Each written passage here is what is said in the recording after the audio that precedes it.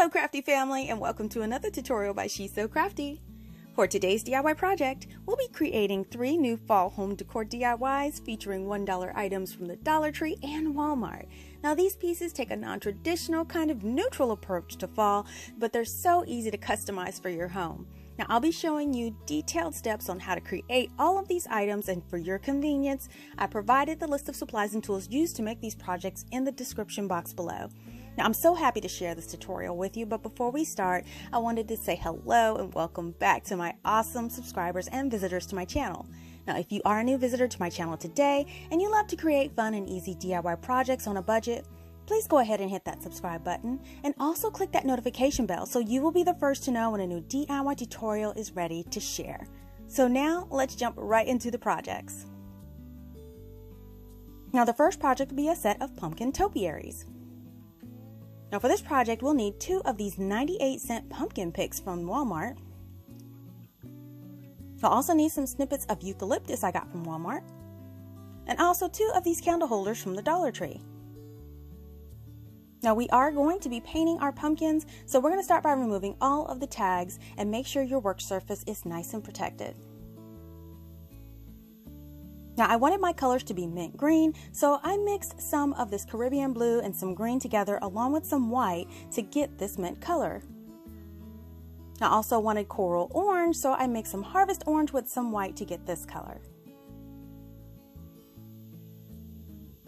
Now the first thing you do want to do is to paint all three pumpkins with this white acrylic paint, and this will act as a primer for all your other colors.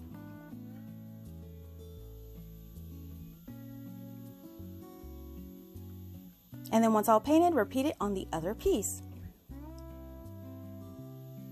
So once it's dry, we can start adding our color. Now we're going to start with the green and we're going to apply a coat to the bottom pumpkin.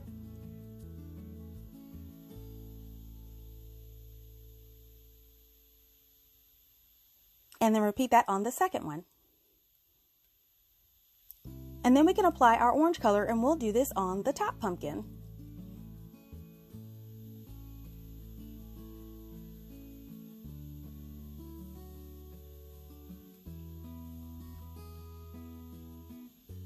Now our center pumpkin will remain white, so just apply a second coat of that white acrylic on the center pumpkin.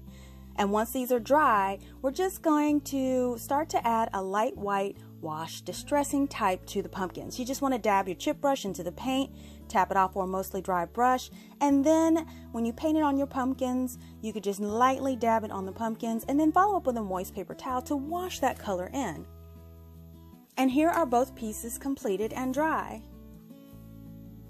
So now we can grab our candle holders. Now we can go ahead and remove those sticks from the bottom of our pumpkins. And now we can take our pumpkins and adhere them to the top of the candle holders and we could do this with hot glue.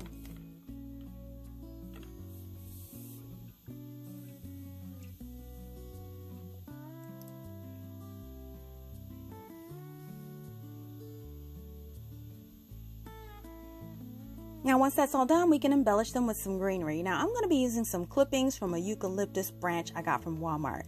All I'm doing here is I'm going to cut off all the bulky ends and then we can start to apply them around the base of the pumpkins. Now all you want to do is just apply some hot glue around the bottom, around the edge, and you just want to make sure when you are applying these stems, you want to overlap the ends as you apply them around the pumpkin.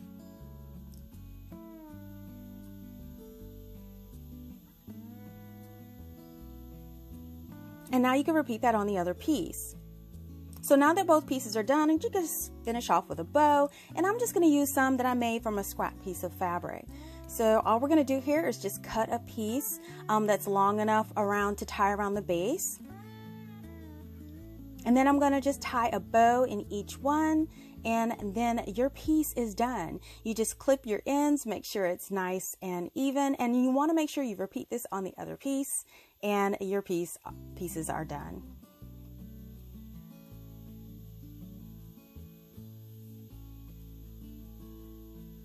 And here are those pumpkin topiaries on display. Now, I think that these are so adorable. Now, I love these colors, and it still allows you to celebrate the end of summer and roll right into fall. And then accenting the piece with a bow and the greenery really makes this brighten the space. Now, I hope you all have as much fun customizing these as I did.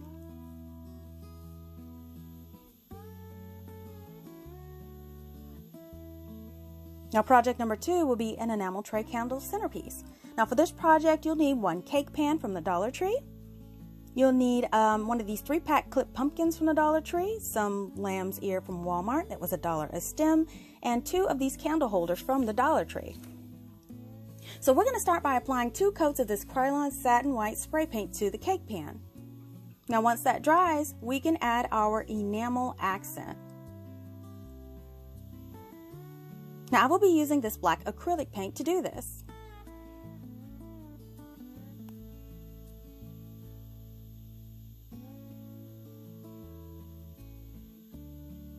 So we're going to be applying the paint around the edge in a random pattern and then we want this to completely dry. Now I'm just going to do around my edge. You can sure enough do the inside or around the outside if you like, but since the edge will be standing out the most, I thought doing it around the edge was simplistic but beautiful. So now that it's dry, I decided to add some feet to my tray. So I grabbed four of these thick wood slices that I purchased from the Dollar Tree. Now you can choose these as well. Just make sure that they are all about the same height and that uh, they are completely flat. And then you just hot glue those into place.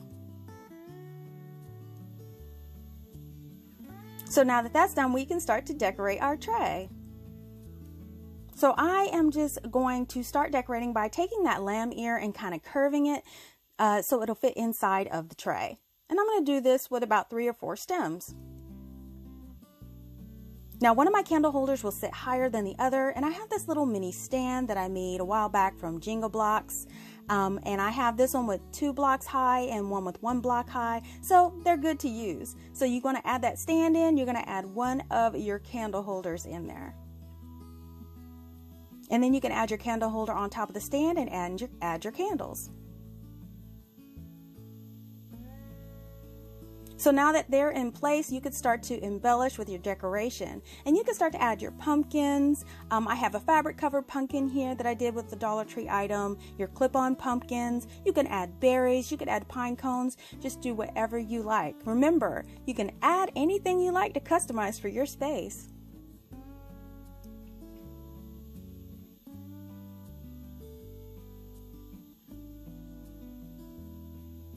And here's this cute little tray all decked out for our fall decor. Now I think this would be so beautiful as a table centerpiece. And these wood slices really add a unique touch to this tray too.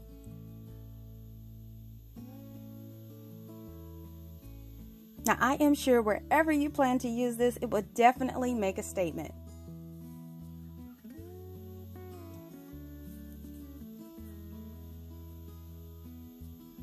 Now project number three will be a fall beaded pumpkin sign. Now we will need one of these football signs from the Dollar Tree. We'll also need one of these happy fall scarecrow signs from Dollar Tree. And we'll need some wood beads. Now I'm going to start with taking that fall sign and I want to go ahead and remove the hanger and the staples from the back.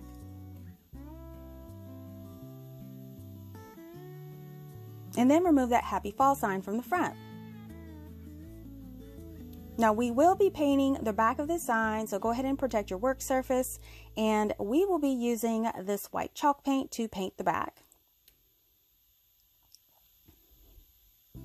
Now I'm just going to be applying one nice coat to the back of the sign. And then sit it to the side to completely dry. So while that dries, I'm going to take that football sign and I'm going to remove just the three pumpkins from the sign.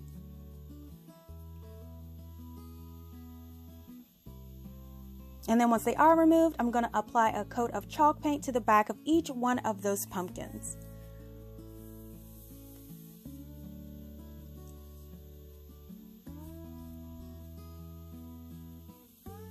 So now that they are dry, we can start to apply our color. So like our topiaries, I'm gonna add a mint green to one of our pumpkins.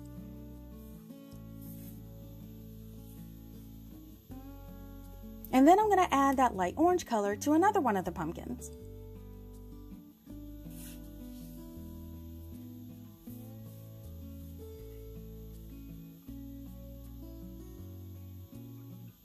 Now one of our pumpkins will remain white, so I'm just going to cover it with a coat of white acrylic paint.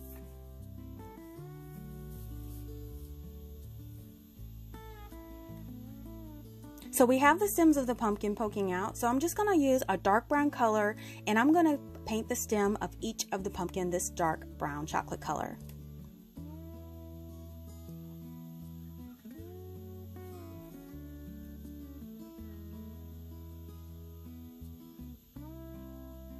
All right, so now we can work on our beads. Now these are 16 millimeter wood beads that I easily cut in half with a pair of wire uh, cutters. I made a short demo on this and I'll link it up in the top right hand corner of this video and also in the description box below. Now I'm just going to be using some hot glue to apply these beads all around each of the pumpkins.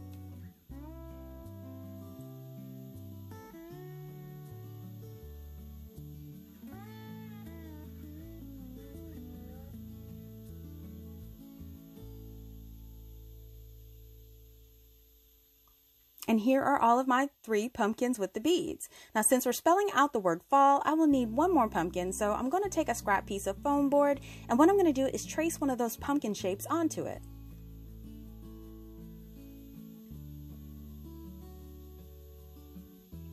And then I'm going to take my X-Acto knife and I want to cut that pumpkin shape out.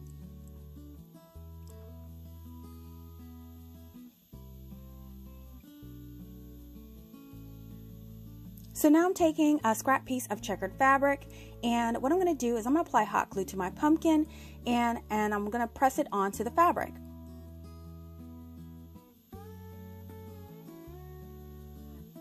And then I'm going to trim off the excess.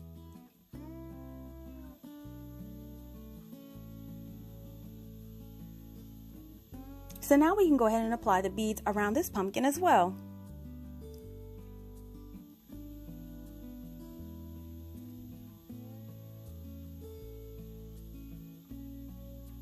Now for the letters, I printed out the word fall using the Cooper black font in the size 300 and I'm going to be using this black foam sheet to copy the letters to. So I'm just going to tape my letter to that black foam sheet and then I'm just going to cut it out. Now you want to repeat this for all of your letters.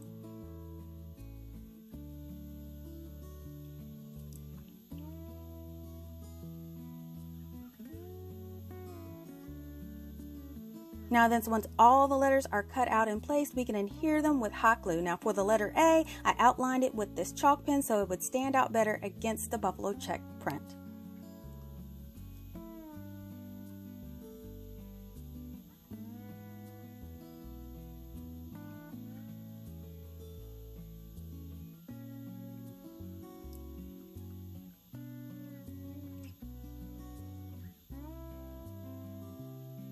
So now we can grab our painted sign and prepare it for our pumpkins. Now I will be placing lines on the painted side, so I'm marking their placement along the edge. And then I'm going to take something with a straight edge and I want to mark lines across the front where we will be drawing them. And then I'm just going to line it up and I want to make those lines um, right across the front of the board.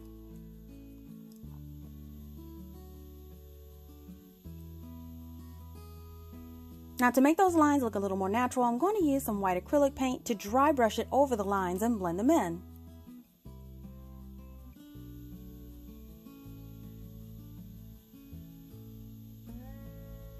Now I also have a little bit of pavement gray on the palette as well and I'm going to mix that in with the white and I'm going to use this to distress a bit around the edges and along the lines.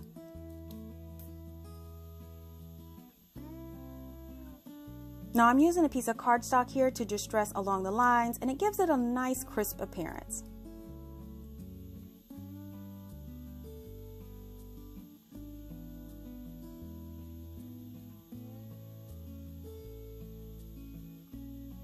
And now once that dries, we can start to add our pumpkins. So I'm just gonna lay them out on the board, making sure they're nice and evenly placed.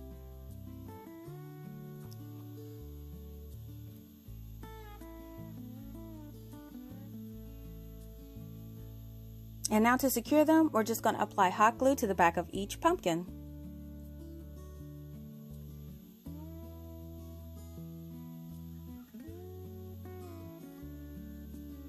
And here they all are in place. Now to hang this, I'm just going to tie a knot into each end of a piece of jute twine. And what I'm going to do is I am going to secure this on the back. Now I'm just going to apply a generous amount of hot glue on the top of each one of those knots to secure it into place.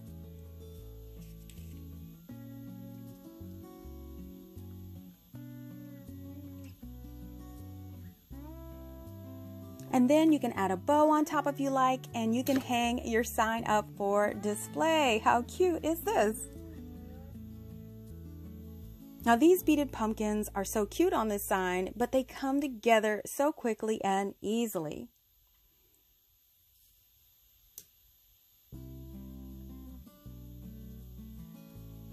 And I really love this one covered in fabric too. Now these projects today, they were all super fun. I hope you enjoyed them.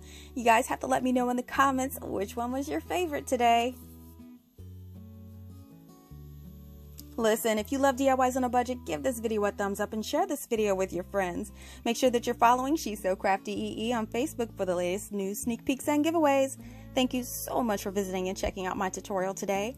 Now, if you like videos like these and you don't want to miss the next one, make sure you are subscribed and click that subscribe button below and turn on that notification bell. Thanks so much for watching, and I will see you all next time.